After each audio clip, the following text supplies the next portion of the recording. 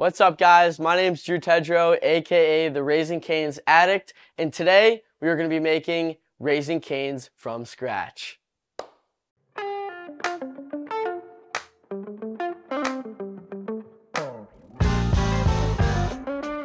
First, we're going to be making the crinkle fries. First, you're going to need a potato, a knife, and a crinkle cutter. First, you're going to need to cut the potato into thin slices. Then, after we've done that, we take the crinkle cutter to cut the potatoes into the Cane's fry shape.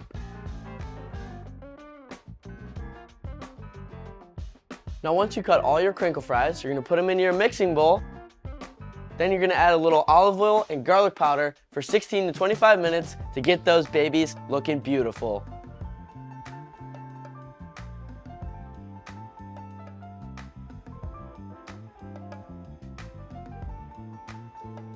Next up, the chicken fingers. The bread and butter. You can either make these babies from scratch or you can use uh, frozen ones, which is what we're gonna be doing today.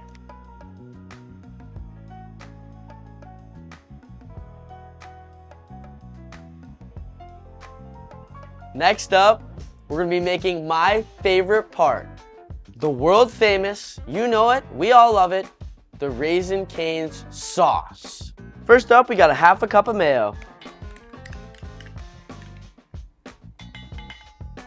Next up, we got three tablespoons of ketchup.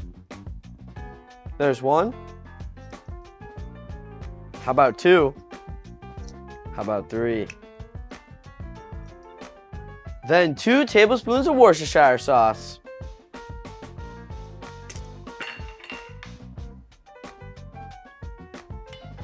Perf. Some black pepper. How about a little bit of onion powder? Last but not least, the secret ingredient, the garlic powder. Ta-da! Now we mix.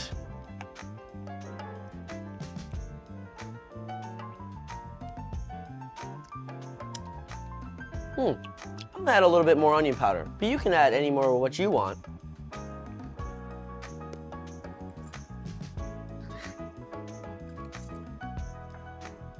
Back to mixing. Last but not least, the crown jewel, the Texas toast. So how you're gonna wanna execute this, you're gonna take your Texas toast with your bowl full of melted butter. You're gonna dip both sides, boom, boom, put it right back on your plate. Take the other side, boom, boom.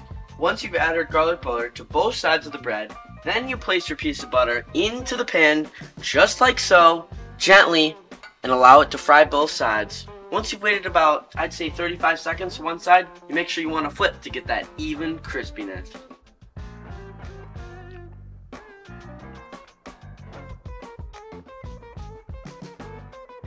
Oh my gosh.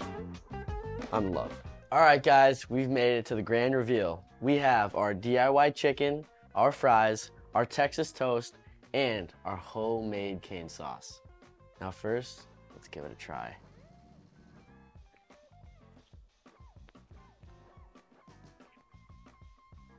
Wow, that is so good. Next up for the fry.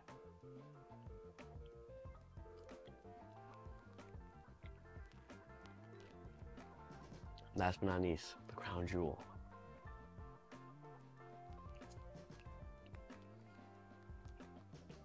This is outstanding. I highly recommend you try this in the comfort of your own home with just a few ingredients from the grocery store to top off an amazing self meal in the comfort of your own home. Thanks for watching, everyone. Make sure to like and subscribe. And don't miss out on this opportunity to make your very own cane sauce. Peace.